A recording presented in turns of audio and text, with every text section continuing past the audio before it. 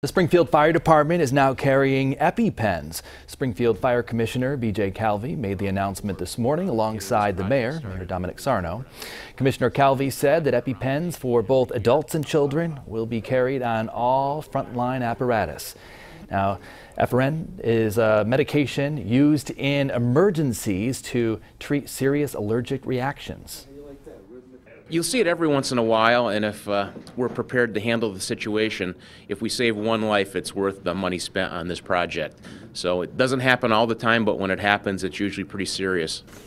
The medication cost just about $16,000, and Calvi said that this was made possible thanks to the Mass Mutual Foundation. Doctors from Baystate Health and the Firefighter Union Local 648.